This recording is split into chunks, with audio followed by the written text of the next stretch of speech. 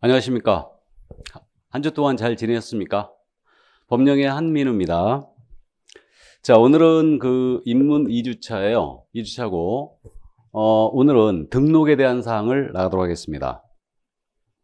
그 교재는 지금 44쪽이에요. 44쪽. 등록의 결격 사유 등.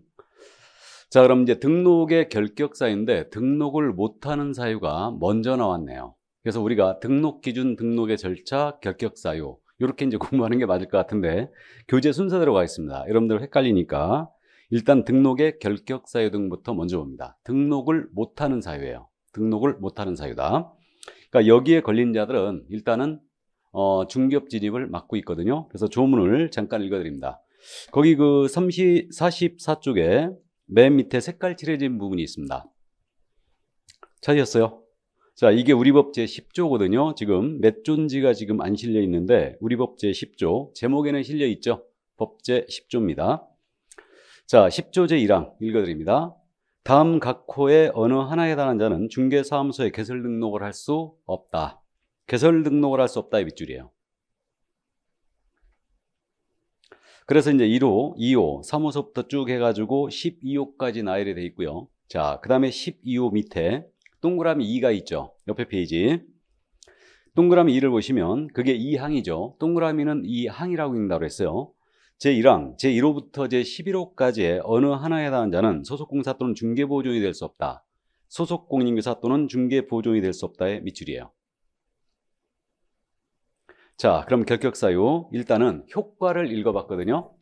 그럼 결격사유 효과에 대한 부분인데 이 결격사유 효과에 대해서는 지금 뭐라고 그랬냐면 어, 결격 사유자는 중개사무소에 개설 등록을 할 수 없다고 했어요. 그러니까 등록을 금지하는데 개설 등록을 할 수 없다는 얘기는 개업 공인중개사가 될 수 없다라는 뜻이죠.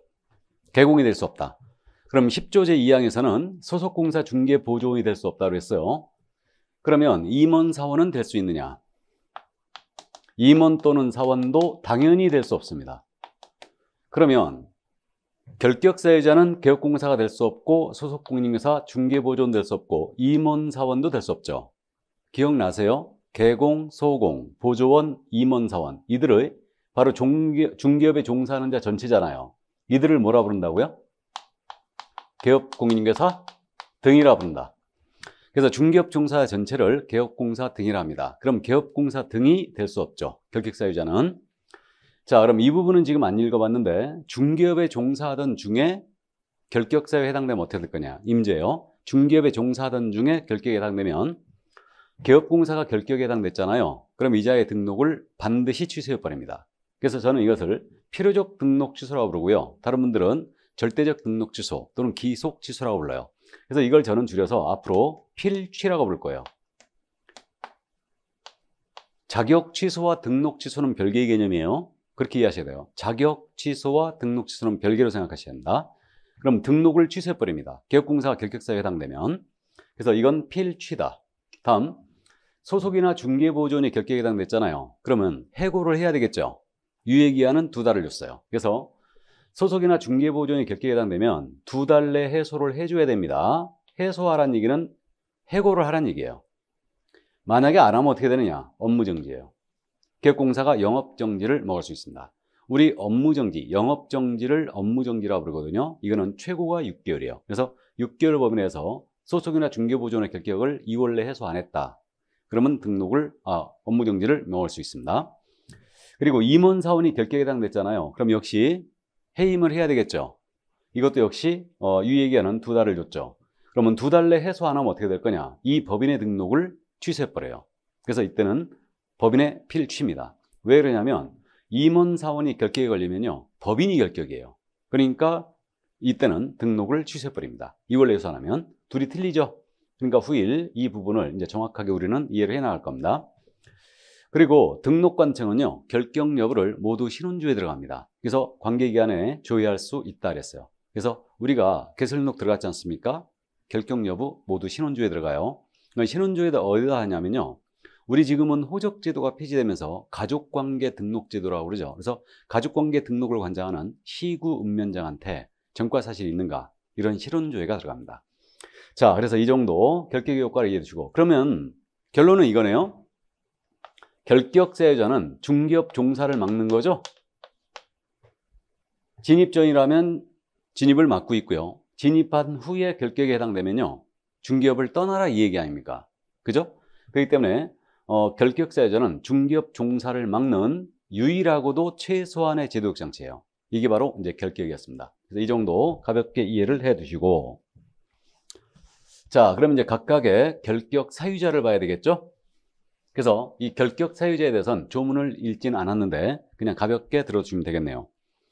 자, 그래서 이 결격 사유자는 먼저 음, 제한 능력자. 그러니까 이제 여러분들 교재에 그 1호, 2호 미성년자와 피한정 피성년 후견이라고 있죠. 1호, 2호 이것이 바로 제한 능력자예요. 공통점이 민법 시간에 제한 능력자를 공부하는데 법률행위 능력이 제한되는 자 이들이 바로 제한 능력자라고 합니다. 자, 그래서 제한 능력자 3명이 일단 결격이에요. 그럼 첫 번째가 미성년자가 결격입니다. 그럼 미성년자는 이제 아시죠? 만 19세 미만. 그러니까 18세까지가 미성년이에요. 19세가 되면 성년이 되는 것입니다. 자, 그래서 19세 미만자는 일단 결격이다. 미성년자는. 자, 그럼 여기서 민법 시간에 이거 이제 나중에 공부하실 텐데 미성년자가요, 혼인을 했거든요. 혼인을 하게 되면 민법은 성년으로 간주해요. 이게 성년 의제 제도라고 그래요. 우리 민법에 따르면요. 남성 여성 공이 만 18세가 되면 법정 대리인인 친권자의 동의를 받아서 혼인하고 약혼할 수 있거든요. 그럼 미성년자인 상태에서 혼인을 했다. 그럼 민법은 성년으로 간주합니다. 그럼 성년으로 간주한다는 얘기는 미성년자가 혼인을 하게 되면요. 자기 부동산 마음대로 처분할 수 있어요. 또 자기가 살 집, 이것도 직접 이제 임차할 수 있습니다. 법정 대리인 친권자의 동의가 필요 없다는 거죠. 그러니까 민법상 재산상 법률행위는 어, 혼인한 미성년자에 대해서는 일단은 성년으로 간주합니다. 재산상 법률행위만. 자, 그러면 혼인한 미성년자 있잖아요. 혼인한 미성년자가 중개보조원 근무할 수 있을까? 이 문제예요. 우리는 인정하지 않습니다. 생각을 해보면요. 미성년자가 혼인했다 하여 투표권 주는 거 아니겠죠? 그죠? 그러니까 우리는 여전히 예치급하는 거예요. 그래서 그 민법에서만 성년으로 간주할 뿐이지 다른 법에서는 여전히 애치고합니다. 그래서 요 미성년자는 혼인했다 하더라도 우리는 결격이에요. 그러면 미성년자가 결격사에서 벗어나기 위해서는 나이를 쳐 드시는 수밖에 없죠. 그래서 성년이 되는 수밖에 없어요. 이게 유일하게 벗어나는 길이에요. 성년이 돼야 된다. 만 19세가 돼야 됩니다. 그래야 이제 벗어나는 거예요. 그래서 미성년자 결격이었습니다. 다음 피한정 후견인 피성년 후견인 결격인데 말이 참 어렵네요. 종전에 이게 이제 한정 치산자였고 이게 어 이제 기억도 안 나네. 이게 한정 치산자였고 금 치산자였죠. 이자가 이걸 용어를 피한정 피성년 후견으로 바꿨는데 자 피한정 후견인은 질병 장애 노령입니다. 질병 장애 노령 기타 정신적 제약이에요. 그러니까 물리적 제약이 아니고 정신이 오락가락한 거예요. 정신적 제약으로 인하여 사무 처리 능력이 다소 부족한 자예요. 부족한 자로서 정신이니까 오락가락한다는 얘기예요.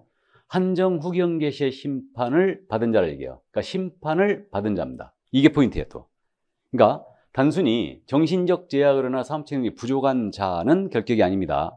그로 인하여 심판을 받아야 됩니다. 그래야지만 피한정 후견이 되는 거예요. 그럼 이 자는 결격입니다. 다음 피성년 후견인은 피한적 후견에 비해서 상당히 심각한 지경에 이른 자인데 이 자는 질병, 장애, 노령, 기타 정신적 제약이에요. 정신적 제약으로 인하여 사업체력이 지속적으로 결여된 자예요. 그러니까 항상 정신이 나가 있다는 얘기죠. 항상. 그래서 지속적으로 결여된 자로서 어, 가정법으로부터 성년 후견 개시의 심판을 받은 자를 역시 얘기합니다. 이 자가 바로 피성년 후견인이에요. 이거. 그래서 피한정 피성년후기는 모두 이제 결격 사유자로서 일단 중기업 진입 금지입니다. 그럼 이들이 결격 사유에서 벗어나기 위해서는 어떻게 되느냐? 이들이 결격 사유 벗어나기 위해서는 법원의 심판에 의하여 피한정 피성년 후견이 됐죠. 그러니까 법원으로부터 어, 한정 후견, 성년 후견 종료 심판을 받아야 돼요. 종료 심판을 받으면 즉시 결격 사유에서 벗어나게 됩니다. 종료 심판 받으면 이거 그래서 형식적으로 지금 이들은 결정하거든요. 형식적으로. 그 얘기 아닙니까? 피한정 피성년 후견인, 피성년 후견인이 정신병원에 꾸준한 치료를 받았어요. 정신력을 회복했거든요. 그렇다 하더라도 종료 심판을 안 받으면 여전히 결격이에요. 이해되십니까? 그래서 종료 심판으로 즉시 벗어나게 된다. 자, 그래서 제한자 3명 모두 결격, 문제가 없습니다. 자, 그럼 다음 이제 경제적 무능력자가 있죠. 경제적 무능력자로서 이제 파산자가 결격이에요. 파산자. 그래서 우리 교재에는 지금 현재 색깔 칠해진 부분 음, 3호 파산 선고를 받고 복권되지 아니한 자 그랬죠. 이 자가 파산자예요. 그러면 파산자라는 것은 채무자 회생 및 파산하고 난 법률이 있거든요. 그 법에 따라 파산 선고를 받은 자를 얘기합니다. 파산 선고를 받은 자. 이 자가 바로 경제적 능력자서 일단 결격이에요. 이 파산자는요. 그러면 결격인데 우리가 들어봤잖아요. 은행이나 카드사에 쓰는 신용불량자 있죠. 그럼 신용불량자는 결격이겠습니까? 아니, 아니겠습니까? 아니란 얘기죠. 그 다음에 개인회생이라고 들어보셨나요? 개인회생? 그러면 개인회생 절차 중에 있는 자예요. 이 자가 결격일까? 이 문제가 있죠. 개인회생 절차 중에 있는 자는 결격이 아닙니다. 참고로 개인회생과 파산은 틀려요. 그래서 이 정기적 수입이 있으면요. 파산이 절대 안 돼요. 그래서 이 개인회생이라는 것은 정기적 수입이 있는 자예요. 그럼 개인회생을 받을 수 있습니다. 그래서 이 개인회생 중 절차 이제 법원에 신청하지 않습니다. 개인회생을. 그러면 법원에 심사를 하겠죠. 그럼 정기적 수입이 꼭 있어야 되는 게 이제 조건이 되고 있는데 개인회생 절차 인가가 떨어지면요. 자기가 갖고 있던 채무 있죠. 채무가 85% 내지 80%가 면제돼요. 면제가 되고 15% 내지 20%가 일단 20%를 이 3년을 기한으로 해갖고 자기 정기적 수입에서 계속 갚아나가는 거예요. 이게 바로 개인회생이에요. 그러니까 개인회생은 공식적으로 따지면요. 이자는 정상인과 똑같다고 보시면 돼요. 근데 비공식적으로는 은행이나 카드사에서 대출 안 해주겠죠? 그래서 그러나 우리는 결격은 아닙니다. 일단 그래서 파산자가 결격이에요. 그 점 이제 참고해 두시고 그러면 이 파산자가 결격사에서 벗어나기 위해서는 어떻게 되느냐? 얘는 복권이 돼야 돼요. 복권이 그럼 복권이란 말이 이게 로또 복권, 주택 복권 아니라는 거 알아보시겠죠? 이 복자가 회복할 때 복자예요. 그러니까 권리가 회복된다는 뜻이죠. 그래서 법원으로부터 복권이 되거나 복권 결정을 받아야 돼요. 그래야지만 이제 어, 결격에서 벗어나게 됩니다. 그래서 파산자가 로또 복권에 당첨이 되어 채무의 전부를 변제했잖아요. 그리고 금 10억이 남았어요. 그렇다 하더라도 복권되지 않으면 여전히 결격입니다. 파산자예요. 여전히. 그래서 복권이 얘는 된다. 그래서 복권이 되면 즉시 결격사유에서 벗어나게 됩니다. 그럼 4명을 봤거든요. 제한 능력자 3명, 파산자 1명 이렇게 4명을 봤는데 이들과 관련해서 응시 결격과의 관계를 따져봐야 돼요. 우리 교재에는 이 부분이 지금 45쪽의 맨 밑에 등록의 결격 사유와 응시 부적격자와의 관계라고 돼 있죠. 이 부분인데 그럼 우리가 시험을 못 보는 자 있지 않습니까? 이게 응시 결격이라고 제가 부르는데 기억나세요? 응시 결격자 몇 명입니까? 두 명이죠? 예, 두 명입니다. 그래서 시험을 못 보는 자는 두 명이다. 공인인사 자격을 취소당하고 몇 년입니까? 3년. 3년이 경과되지 않은 자. 자격 취소 처분을 받으면 3년이 결격입니다. 그리고 컨닝하다 걸렸대요. 부정행 위자죠? 시험 부정이자 몇 년간 시험을 못 봐요? 5년. 5년간 응시 자체를 못합니다. 그래서 이렇게 자격 취소받고 3년 경과되지 않은 자와 시험 부정에서 5년이 경과되지 아니한 자만 시험을 못 보고 나머지는 다 볼 수 있다 그랬어요. 성별, 연령, 학력, 국적의 불문 다 볼 수 있다. 두 명만 주의하고 그러면 우리 공인중개사법 태도가 짐작되지 않으십니까? 우리는 공사 자격증이라는 건 전문 자격증이에요.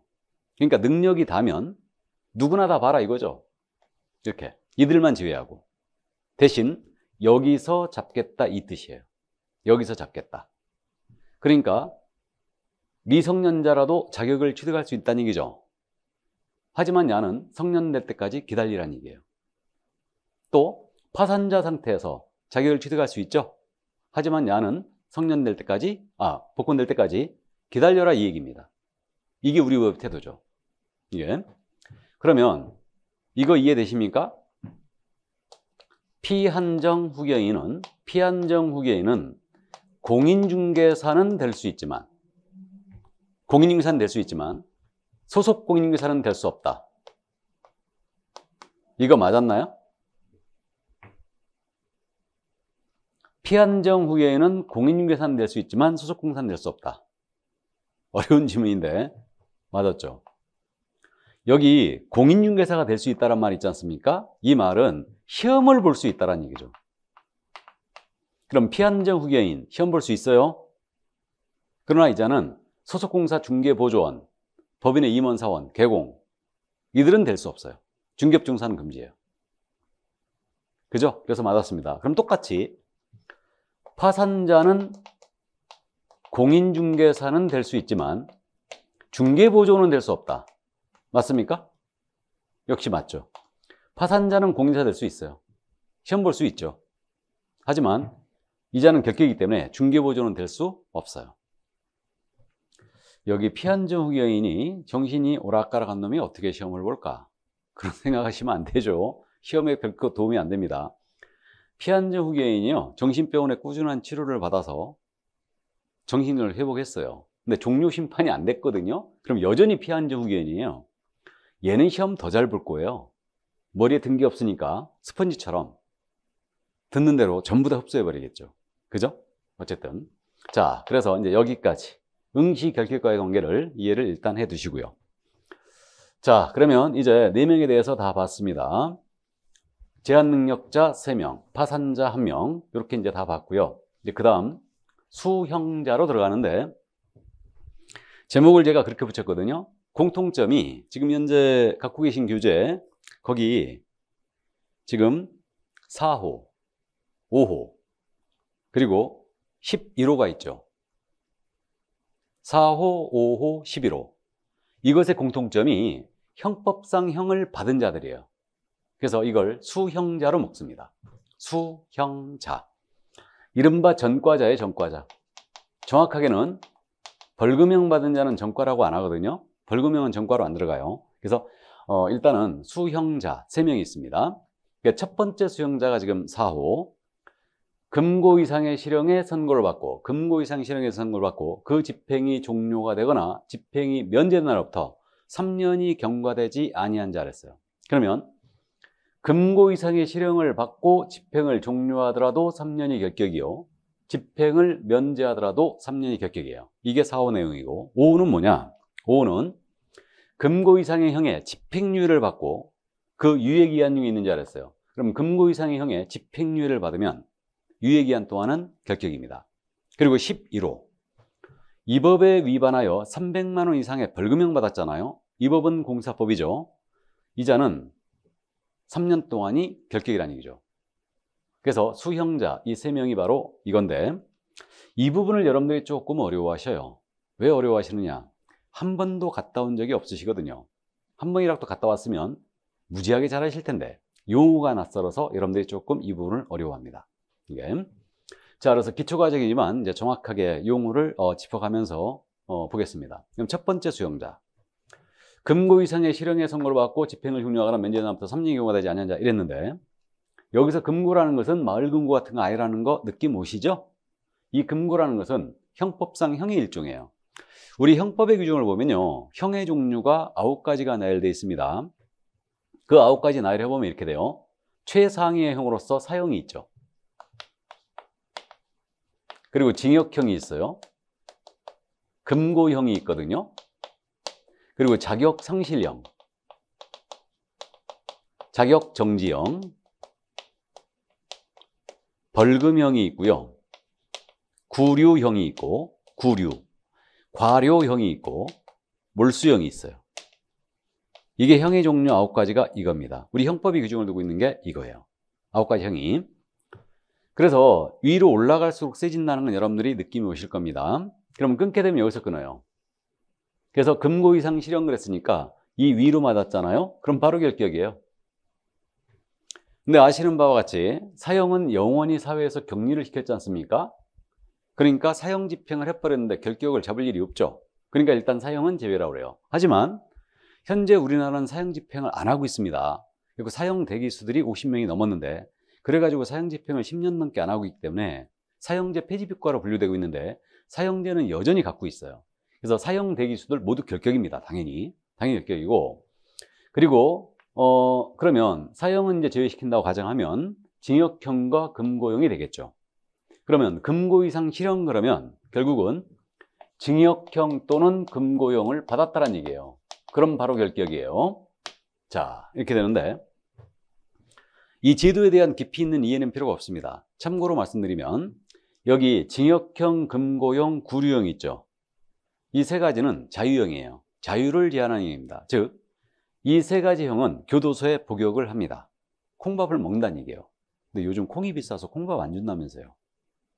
그래서 어쨌든 징역형, 금고형, 구류형 이 세 가지는 교도소 복역한다는 점은 똑같은데 징역형은 교도소에 복역하면서 일을 합니다. 금고형은 일을 안 해요. 그래서 금고형이 징역형보다는 조금 낮은 형으로 돼 있어요. 이렇게 돼 있는데 그 우리 전 대통령들이 지금 현재 다 감옥에 가 있죠. 그러니까 금고형은 주로 이른바 집체가 높으신 분들 정치범, 상사항범, 과실범 이런 분들이 이제 금고를 많이 받는데 어쨌든 우리 그 전 대통령들은 징역형 받았습니다. 그러니까 이제 풀폭기락도 원래는 해야 돼요. 징역형 받았으니까. 자, 그러면 여기 근데 개인적으로 제가 봤을 때는요. 금고형이 일을 안 해서 징역형보다는 조금 낮은 형으로 돼 있다고 하는데 제가 보기에는 금고형이 훨씬 징역형보다 무거운 형 같아요. 진짜 나쁜 놈은요. 사각방에 딱 넣어놓고요. 아무것도 시키지 말고 냅둬버려야 돼 그냥. 그럼 나올 때쯤 누구 돼 있냐면요. 피성년 후견인 돼 있어. 야 돼 있습니다. 그러니까 멀쩡한 사람도 사각방에 넣어놓고요. 아무것도 안 시켜버리면 사람 이상해진답니다. 그래서 이 금고용 받은 자들의 90% 이상이 자원에서 일을 하고 있어요. 당최 시간이 안 가니까. 그래서 일단은 이런 제도고요. 그러면 이 구류형은요, 음, 징역 금고에 비해서 기간만 짧아요. 그래서 하루 이상 29일까지가 구류형이에요. 물론 일을 안 합니다. 그런 거 들어보신 적 있을 거예요. 혹시 그저 연세가 있으신 분은 그런 거 어렸을 때 이제 들어봤을 것 같은데 박서방네 큰아들이 닭설이 하다 걸려서 3일 구리 살고 왔대. 구리. 요거 이제 할머님들 가끔 그런 말씀 하셨죠. 그래서 이게 바로 이제 구류형이에요, 구류형. 그러니까 설이는 원래 절도죠, 지금으로 따지면. 근데 이제 닭설이는 안 받았어요. 안 받았습니다. 큰 재산이었기 때문에. 그래서 어, 구리가 바로 구류요, 구류. 그러면 여기 징역과 금고형은 한 달 이상이 되는 거고 유기와 무기로 나눠지죠. 이거는. 그럼 무기는 뭐 죽을 때까지 사는 거고 유기는 기한이 있다는 얘기인데 그 유기징역 유기금고는요 법정 최고형 때릴 때는 50년까지 때릴 수 있어요. 원래 그 유기징역 유기징역금고는요 25년이 최고였거든요 원래. 근데 50년으로 형법을 개정하면서 바꿔버렸죠. 왜 그러냐면 그 어린애들 데리고 아주 못된 짓거리 하는 못된 놈들 있죠. 그놈들 때문에 이거 50년으로 유기를 늘렸어요. 그 어린애를 약취 유인을 해가지고 살해를 하게 되면 살인죄니까 사형이나 무기를 때릴 수 있거든요. 근데 약취 유인해갖고 아주 못된 짓거리 한 거예요. 그럼 애 평생을 망쳐놨는데 아 대충 10년 살다 나오는 거예요 그냥. 그래갖고 어, 결국 형법을 개정해가지고 아주 그런 놈들 잡아놓기 위해서 지금 50년까지 때릴 수 있어요. 그래갖고 그 기억나시죠? 얼마 전에 그 인터넷 동영상 유포해가지고 그 친구 43년 받았죠. 43년. 그러니까 격리를 시켜버린 거예요. 아예. 무기를 때릴 수가 없으니까 격리를 시키는 겁니다. 그렇게. 자, 그래서 이게 징역 금고 구류였고요. 다음에 자격 상실은 뭐냐면 사형이나 무기를 받았잖아요. 그러면 공무원이 되는 자격 같은 걸 상실시켜 버립니다. 이게 이제 자격 상실형이고 자격 정지형은 그 1년 이상 15년 이하의 기간 동안 자격을 정지시키는 거예요. 이거는요, 이 자격정지, 우리 공인인사 자격정지 제도가 있거든요. 우리 공인인사 자격정지와 이 자격정지는 완전히 틀린 거예요. 우리 공인인사 자격정지는 시도지사가 6개월 범위 내에서 행정처분이죠, 이거는. 근데 이거는 형의 일종이에요. 그래서, 어, 형에 해당하는 자격정지는 우리 법에 없습니다. 뭐, 의료법이라든가 변호사법에는 자격정지가 있어요. 형에 해당하는 게. 그래서 의사가 뭐 수술하다가 과실로 사람을 사망케 했다. 그럼 이때는 뭐 자격정지 5년, 7년 막 이렇게 나가죠. 그래서 이건 이제 자격정지는 이렇게 1년 이상 15년 이하 때리는 거고요. 여기 벌금과 과료 있죠. 이건 돈으로 내는 건 똑같아요. 금액만 둘이 차이가 있어요. 벌금은 5만 원 이상이죠. 과료는 2천 원 이상 5만 원 미만이에요. 이게 과료형입니다. 형법에도 과료형이 일부 있거든요. 있는데 주로 과료형은 경범죄 처벌법에 있어요. 경범죄 처벌법. 들어봤죠? 그래서 이제 공공장소에서 뭐 음란행위를 했다 막 그러면 경범죄 처벌법으로 처벌되지 않습니까? 그렇게 되는데 거기에 이제 과료형이 많이 있어요. 다만 참고로 과료와 과태료는 또 틀려요. 과태료는 행정관청에서 질서벌로 때리는 거예요. 질서벌로. 근데 이거는 형의 일종입니다. 판사가 때리는. 그다음 이제 몰수는 범죄 제공된 물건이나 어, 범죄 이제 범죄로 인해 생긴 물건을 국가가 소유권 취득하는 게 몰수예요. 도박죄 제공된 금품, 뇌물죄 제공된 금품, 이건 필요적 몰수고 몰수할 수 없을 때는 추징하게 돼 있어요. 그래서 이제 전 대통령들이 이제 뇌물죄로 걸렸기 때문에 결국은 몰수 전부 다 하는 겁니다. 그리고 몰수할 수 없으니까 이제 추징을 들어가는 거예요. 이게. 자, 그래서 여기까지. 이게 바로 이제 형법상 형에 규정된, 어, 형으로 규정된 아홉 가지가 이거였는데, 우리와 관계있는 것은 징역과 금고형 뿐이다. 자, 이제 갑니다. 그럼 징역 금고를 받았어요. 바로 결격이고, 집행을 종료했다. 그럼 집행을 여러분들은 어떻게 이해하셔야 되냐면요. 교도소에 복역하는 걸로 이해해야 돼요. 꼭. 집행이라는 것은 교도소에 복역을 하는 거다. 그럼 집행을 끝냈다는 얘기죠. 그럼 종료하게 되면 3년 이상 결격입니다. 해서 집행을 종료하는 사유가 뭐냐? 만기 석방이 있죠. 만기 출감, 만기 출소 모두 같은 말이에요. 그럼 이자는 3년이 더 결격입니다. 교화기간 3년이 필요하다는 얘기죠. 이게. 자, 그럼 이제 3년, 징역 3년으로 연습해 볼까요? 시험 볼 때까지 저는 징역 3년 가지고 계속 이제 뽕을 빼는데 징역 3년을 선고받은 자 결격 기간을 따져보자 이거예요. 그럼 이자는 1년, 2년, 3년 복용하는 동안 결격이겠죠. 그죠? 그러면 이자가 만기 출소를 했어요. 만기 출소했다. 그럼 이자는 다시 몇 년? 3년이 더 결격이죠. 그러면 이자의 총 결기간은 3년, 다시 3년이니까 총 결기간이 몇 년? 6년으로 가는 거예요. 문제 없죠? 자, 근데 중간에 임시효로 석방을 받는 경우가 있어요. 이걸 가석방이라고 그러죠. 여러분들이 그저 공시법 시간에도 가등기, 가압류, 가처분 이런 거 들어보거든요. 법에서 가짜는요 모두 임시 가짜예요. 그러니까 이제 임시적으로 석방한다 그렇게 이해하면 되는데 가석방이라는 제도는 호주에서 유래됐어요 원래. 호주가 그 영국 범죄자들을 풀어놓는 거에서 시작했잖아요. 거기서 유래된 건데 형을 받았어요. 형을 받았는데 자기 형기를 모두 마치지 못하고 중간에 나오는 거죠. 이 가석방이에요. 그럼 가석방이라는 제도는 그런 제도입니다. 형을 받았을 때 자기가 받은 형의 3분의 1은 무조건 복역을 해야 돼요. 복역을 하고 이제 3분의 1이 지났지 않습니까? 그러면 법무부에 이제 가석방 심사위원회가 있죠. 가석방 심사위원회를 열어가지고 이자를 사회로 복귀를 시킬 거냐 말 거냐 가석방을 할 거냐 말 거냐 결정을 해요. 그리고 가석방 심사위원회에서 가석방이 결정됐지 않습니까? 그럼 이자는 사회로 복귀돼요. 그럼 남은 형기 있죠. 남은 형기를 가석방 기간이라고 그래요. 그래갖고 이 기간 동안 가석방 감독을 받습니다. 전에는 가석방 감독관이 주로 경찰서장이었어요. 그래갖고 가석방 감독관이 딱 지정되면 그자에게 주기적으로 가갖고 확인 도장 찍어야 됩니다. 이거. 그래서 이 가석방이라는 제도는 그런 제도인데 그럼 그 가석방 기간을 무사히 경과했잖아요. 그럼 어떻게 되느냐? 집행을 종료한 것으로 간주해요. 그럼 우리는 집행 종료된 자는 3년이 결격이었으니까 다시 우리는 3년의 결격에 빠지게 됩니다. 그래서 가석방 받은 자는 가석방 기간 더하기 3년의 결격이에요. 자, 여기서 따져볼까요? 자, 이자가 징역 3년을 선고받았는데 2년을 복역을 했습니다.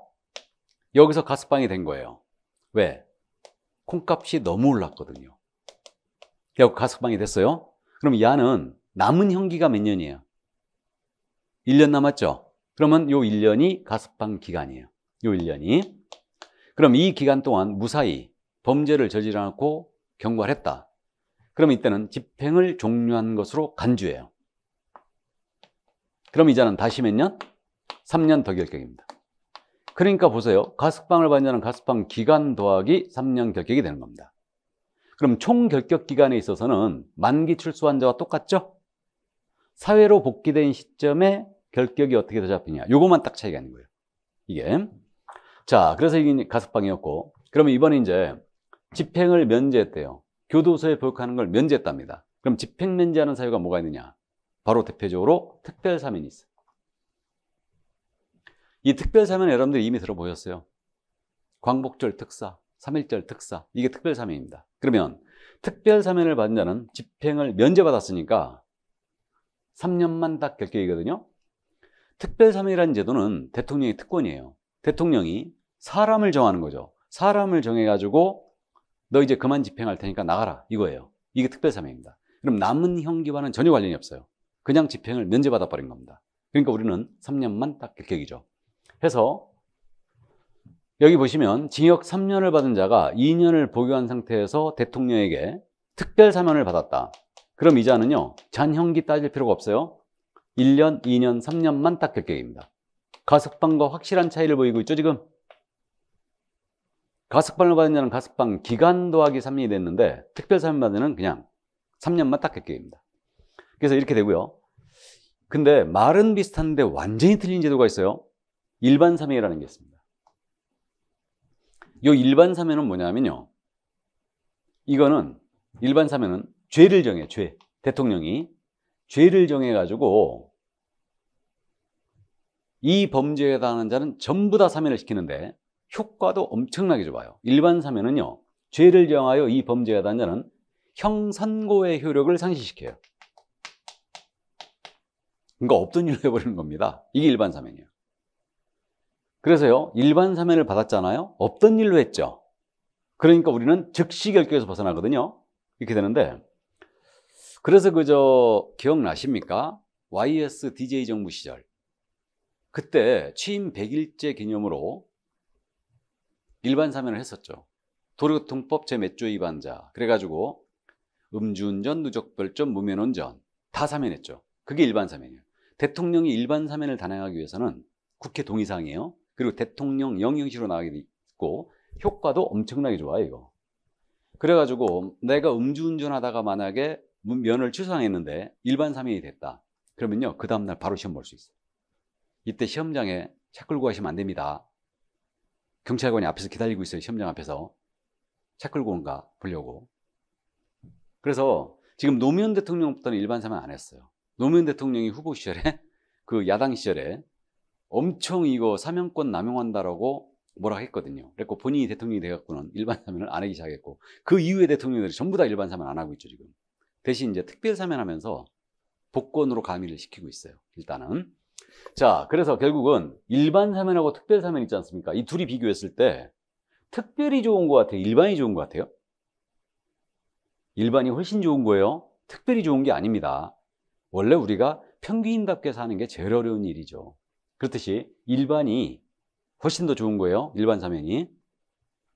그래서 이 부분을 어려워하시는 게 용어 때문에 그래요, 여러분들이. 근데 시험에서는 다행히 잘 내진 않는데 조문대로만 내버려요. 이렇게. 그래서 어쨌든 이제 감만 일단 잡아주시기 바랍니다. 자, 그래서 이제 첫 번째 수용자, 이자를 좀 자세하게 들여다봤습니다. 그럼 이제 두 번째 수용자가 있죠? 집행유예 받은 자가 있었어요.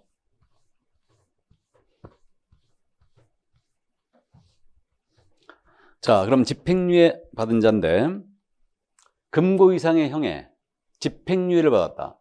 그럼 유예기한 동안은 결격입니다. 그러면 이 집행이란 말은 뭘로 이해하셔야 된다고요? 교도소에 복역하는 걸로 이해하시라고 그랬죠? 이게 그러면 집행유예는 교도소에 복역하는 걸 유예한 거예요. 말 그대로 하면. 그래서 이 자는 유예기한 동안 일단 결격인데 그럼 집행유예 제도는 어떤 제도냐면 우리가 뉴스에서 가끔 들어봤는데 이 제도예요. 3년 이하의 징역이나 금고 500만 원 이하의 벌금형 선고할 경우에 판사가 피고인의 정상을 참작해요. 범죄 정황을 참작한다는 얘기예요. 참작해서 3년 이하의 징역 금고 500만 원 벌금을 선고를 해요. 일단 그리고 이 선고한 형의 집행만 이 선고한 형의 집행만 1년 이상, 최고 5년입니다. 이 집행을 유예를 해요. 그리고 유예 기한이 정해져요.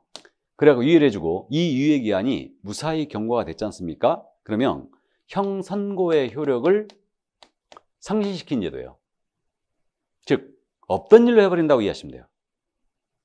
그러면 이게 무슨 말이냐면 지금 이 피고인이란 말이 등장했지 않습니까? 민사재판에서는 원고 피고가 있어요. 근데 형사재판에서는 원고 피고가 없죠. 검사가 원고예요, 원래.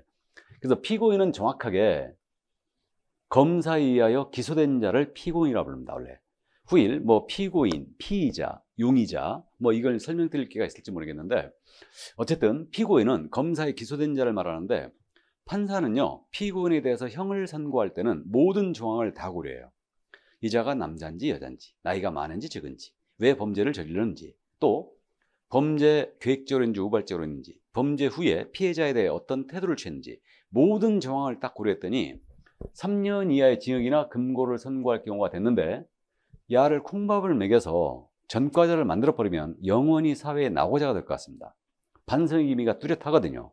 해서 형을 일단 선고를 해요. 선고해놓고 이 선고한 형의 비행만 1년 이상 최고 5년 기간 동안 유예를 시켜주죠. 유예를 시켜주고 이 유예 기간을 무사히 경과했다. 그러면 이때는 없던 일로 해버리게 돼요. 그래서 예를 들면 형 선고가 이렇게 나갔어요.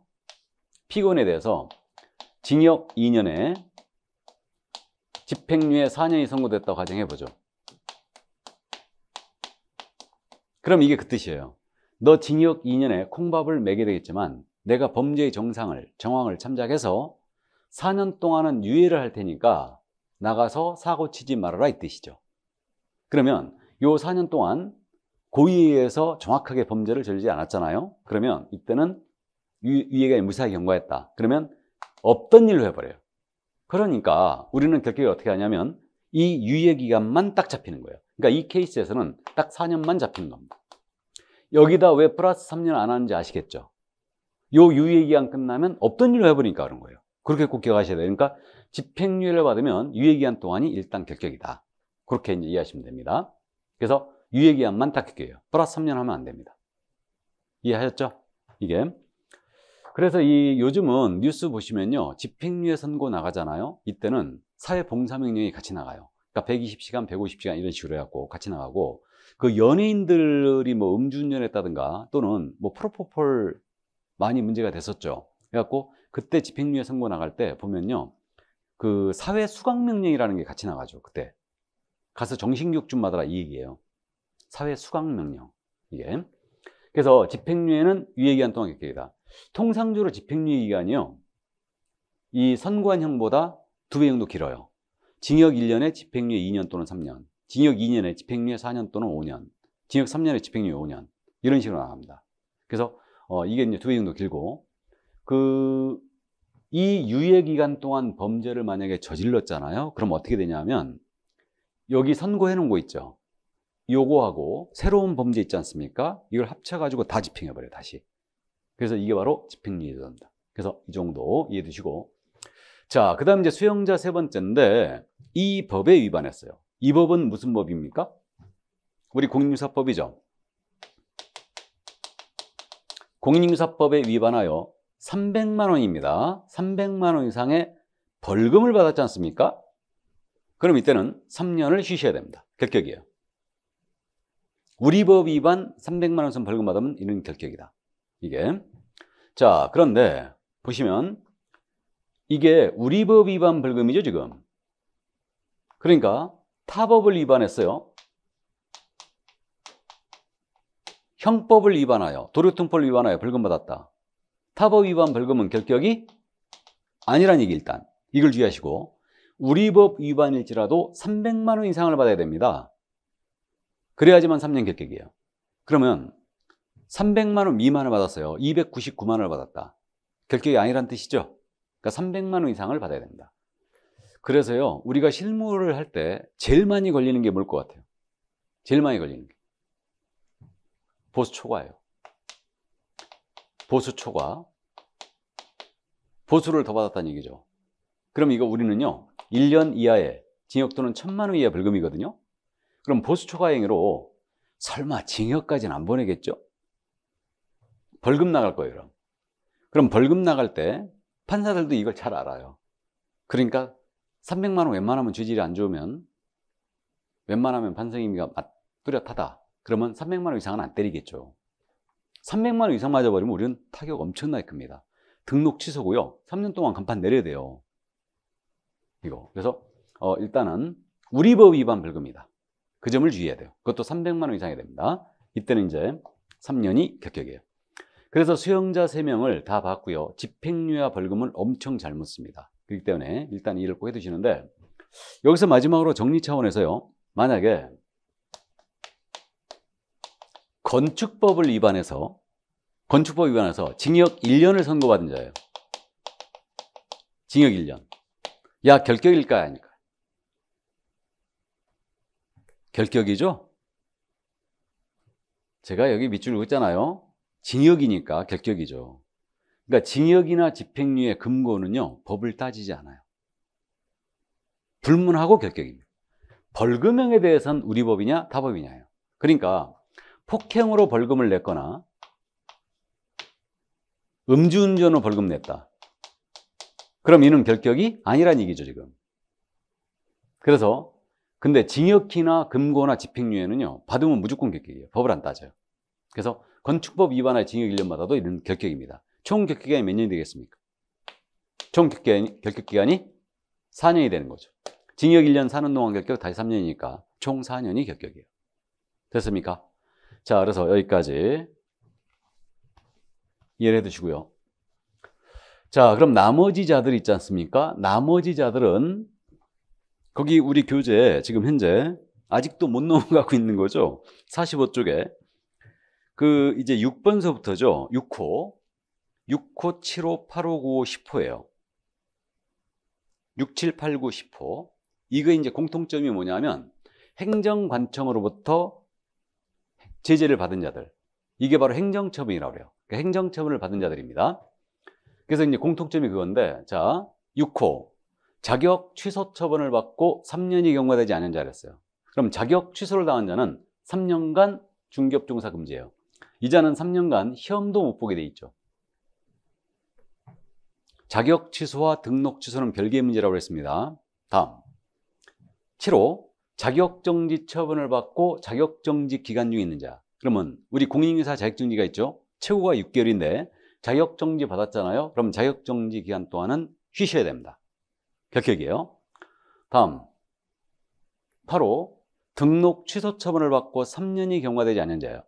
그 법문이 조금 8호는 복잡하게 돼 있는데 결론은 그거예요. 일단 줄기를 잡는 거니까 등록 취소가 됐잖아요. 그럼 이 자는 3년을 일단 쉬어야 됩니다. 이게 원칙이에요. 그냥 그 정도만 이해하시고 등록 취소한 3년. 그 다음 이제 9호 업무정지 처분을 받고 폐업한 자로서 업무정지 기간 중에 있는 자 그랬어요. 폐업에 불구하고 업무정지 기간은 진행한다 그랬는데 그래서 업무정지 먹고 폐업을 했잖아요. 그래도 업무정지 기간 또는 결격입니다. 자, 이거 잠깐 부연 설명하죠. 이 부분. 다른 건 뭐 어렵지 않죠. 그럼 업무 정지는 영업 정지라고 그랬는데 자, 우리 개업공사가 업무 정지 4개월을 먹었습니다. 4개월 받았어요. 그러면 이자는 한 달, 두 달, 석 달, 넉 달, 4개월을 쉬어야 됩니다. 근데요, 업무 정지 기간 중일지라도 중개사무소는 기본 요건이거든요. 중개사무소. 그러니까 중개사무소 계속 유지해야 돼요. 그럼 중개사무소 임차료가 발생되고 있겠죠. 그러니까 이자가 업무정지 받고 폐업 신고를 해버립니다. 그럼 업무정지 기간 중에 폐업할 수 있느냐 문제가 있죠. 폐업은 자유롭게 할 수 있어요. 그러니까 업무정지 기간 중일지라도 폐업 신고할 수 있습니다. 폐업 신고 해버렸어요. 이제 업무정지 효력이 소멸될것지 하면서 한 달 뒤에 재등록을 들어가는 거예요. 이거 받아줄까 안 받아줄까요? 당연히 안 받아주겠죠 이거. 이거 받아주면 업무정지 때려나 만하죠. 그러니까 당연히 안 받아줘요. 결격입니다. 그러니까 업무정지 받고 폐업한 자로서 업무정지 기간 중인 자는 결격이에요. 그럼 당연히 등록 못하는 거고요. 소속이나 중개보존이 될 수 없고요. 임원사원도 될 수 없어요. 개공 등이 될 수 없죠. 결격이니까. 이해했죠? 자, 그런데 이게 나왔으니까 휴업을 잠깐 따지죠. 휴업. 중개사무소 쉬는 게 휴업이에요. 우리는 3월을 초과할 때는 초과하는 휴업을 할 때는 미리 신고해야 됩니다. 그러면 휴업 신고 4개월 했어요. 휴업 4개월 쉬겠다고. 그러면 4개월 동안 쉽니다. 근데 역시 사무실 유지해야 돼요. 그러니까 임차료가 발생되라 이거요. 그러니까 휴업 신고 해 놓고요. 한 달 뒤에 폐업 신고해 버리는 거예요. 그럼 되느냐? 됩니다. 한 달 뒤에 폐업 신고 해 버렸어요. 폐업 신고 해 놓고요. 집에서 빈둥빈둥 놀았거든요. 와이프가 아침밥 차려줘야 안 차려줘요? 안 차려주죠? 그러니까 AT로 와서 내 등록 다시 들어간다. 받아줄까 안 받아줄까? 받아주겠죠? 아침밥 굶으면 안 됩니다. 그래서 등록할 수 있죠. 자진하에 폐업했으니까 등록할 수 있겠죠, 당연히. 그래서 휴업 기간 중에는 폐업 후 재등록할 수 있어요. 그러나 업무 정지 기간 중에는 폐업 후 재등록할 수 없습니다. 업무 정지 기간이 경과 돼야 돼요. 그래야 등록할 수 있어요. 이게 바로 이제 요겁니다. 자, 그 다음 이제 10호죠. 여러분들 교재 10호. 업무 정지 처분을 법인이 먹었어요.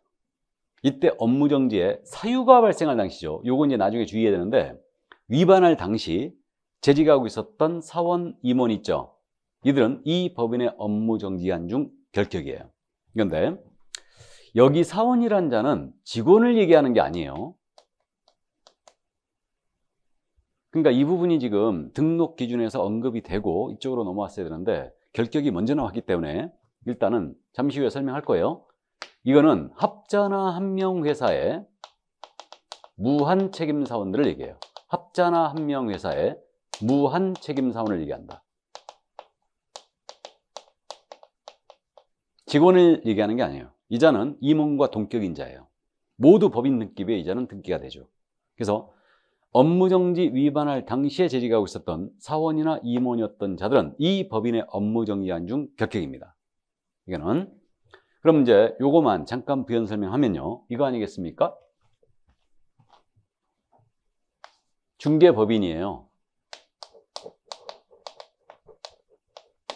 중개법인인데 여기에 이 법인이 업무정지 4개월을 받았어요. 법인이 쉬게 됐습니다.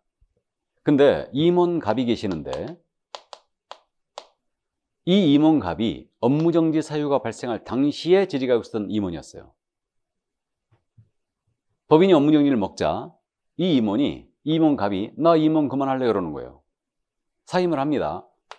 이중소속도 오늘 공부 안 했는데 이제 할 겁니다. 사임을 했어요. 사임을 하게 되면 이중속을 푼 거예요. 사임을 했어요. 그렇다 하더라도 이자는 이 업무정지 기간 동안은 다른 데 가서 중개업에 종사할 수 없습니다. 이자는 그러니까 업무정지 효과가 임원인자에게는 그대로 미치고 있는 거예요, 지금. 그대로. 근데 여기 중개보조원 을이 있어요, 이 법인에. 법인이 업무정지 먹었거든요. 그러자 이 보조원이 법인이 일을 안 하니까 나 보조원 그만할래. 사직을 합니다. 이중소속을 풀었어요. 이중소속이 뭐냐면 두 개 이상의 중개사무소에 양다리 걸치는 게 안 되는 거거든요. 그래서 사직을 했습니다. 이자는 즉시 다른 데 가서 그럼 종사할 수 있느냐? 중기업에 종사할 수 있죠, 이자는. 그러니까 직원인 자에게는 업무적인 효과가 안 미쳐요. 안 미칩니다. 근데 임원 사원인 자에게는 미쳐요. 그래서 일단 여기까지. 그래서 이게 요게 그거예요. 업무 정지를 법인이 먹었다. 그러면 그 사유가 발생할 당시에 재직할 수 있는 임원 사원은 결격입니다. 사원이 누군지 이런 것들은 이제 잠시 후에 더 설명을 드릴 겁니다. 그래서 업무정의한 중 결격입니다. 근데 직원인자에게는 미치지 않아요. 그래서 일단은 여기까지고 아까 서두에 결격의 효과에서 임원 사원이 결격에 해당되면은 이 원래 해소하라고 했죠. 안 하면 법인 등록 취소예요. 근데 직원인자, 소속이나 중개보증이 결격에 해당돼 이 원래 해소했다. 이때는 개공이 업무적인만 먹을 수 있습니다. 그러니까 직원인자와 임원인자를 확실히 지금 결격에서는 구분하고 있습니다. 일단은 참고해 두시고요. 그 다음에 이제 12명이었죠. 제한 능력자 3명, 파산자 1명, 수용자 3명, 그 다음에 행정처분 받은 자 5명 있거든요. 이 12명 중에 단 한 명이라도 법인의 임원 사원이 있잖아요. 법인의 임원 사원으로 있잖아요. 한 명이라도 그러면 이 법인이 결격이에요. 자, 그래서 여기까지. 이게 바로 결격사유 규정이었습니다. 조금 어려운 것 같죠? 자, 그러니까 여기까지 하고요. 커피 한 잔 그럼 먹고 갈까요? 예, 잠시 쉬었다가 하도록 하겠습니다. 잠시 쉬죠.